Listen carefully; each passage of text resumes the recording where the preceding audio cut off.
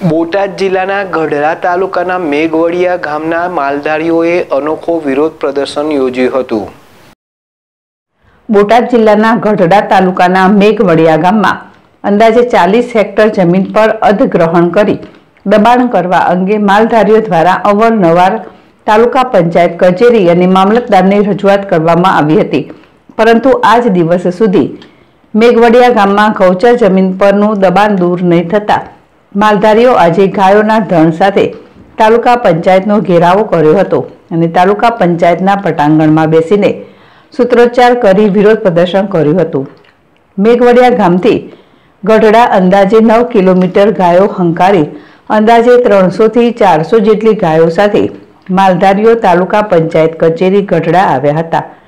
આ સમગ્ર ઘટનામાં કાયદો અને વ્યવસ્થાનું પાલન કરાવતા પોલીસ તંત્ર માટે મોટો પડકાર ઊભો થયો હતો.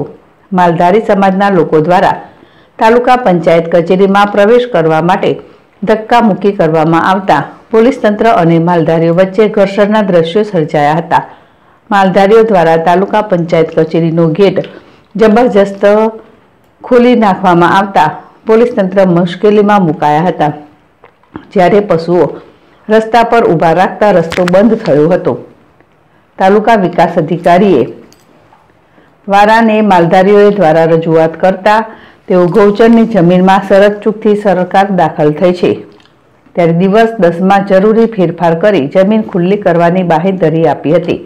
માલધારી દ્વારા આ અંગે પ્રતિક્રિયા આપતા જણાવ્યું હતું કે જો દિવસ દસમાં ગૌચરની જમીન ખાલી નહીં થાય, તો આસપાસના તમામ ગામોને સાથે રાખી માલઢોર સાથે ફરીવાર તાલુકા પંચાયત સહિતની કચેરીઓનો ઘેરાવ કરવામાં આવશે.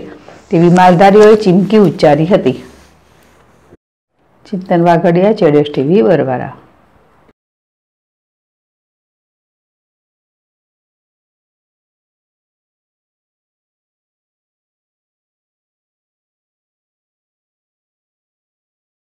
નામ મેવાડા વિપુલ લક્ષ્મણભાઈ.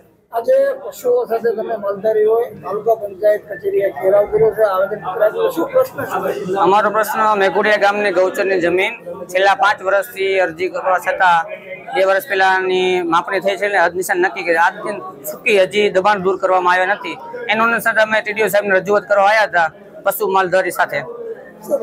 હવે ટીડીઓ સાહેબ દ્વારા દસ દિવસ અમને ટાઈમ આપ્યો છે, દસ દિવસ અમે કાયદેસરની કાર્યવાહી કરીને દબાણ દૂર કરશું? અમારી એવું માંગ એવી છે, દસ દિવસ પછી જો દબાણ નહીં થાય તો અમે ગઢડા તાલુકાના છોતેર ગામના માલધારી પશુ સાથે અમે ગઢડા તાલુકા